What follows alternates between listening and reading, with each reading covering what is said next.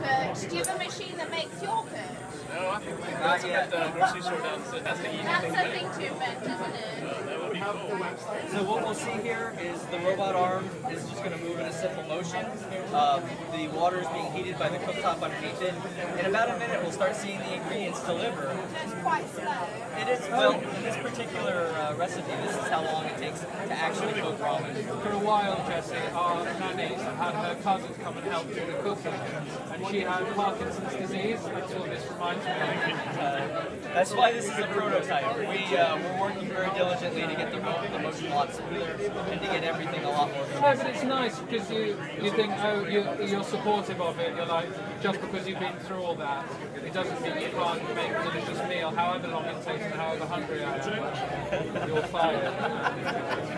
That was not our intention, but I'm glad you see the value in it. I'm worried it's on fire, Jesse. It's not on It's fire. not on fire.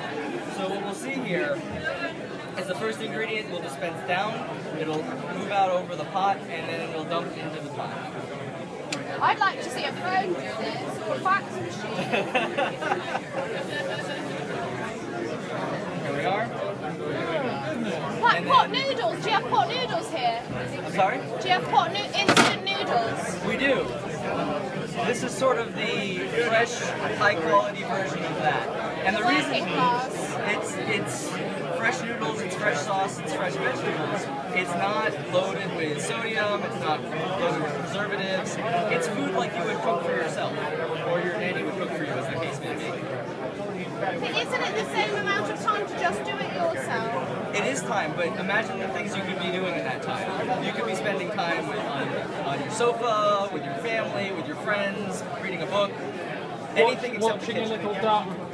Exactly, anything except the kitchen. Thinking about love. It's about love.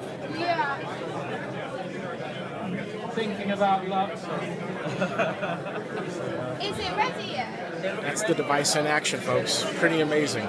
Pretty amazing. Now it's gonna dump the sauce. Come on.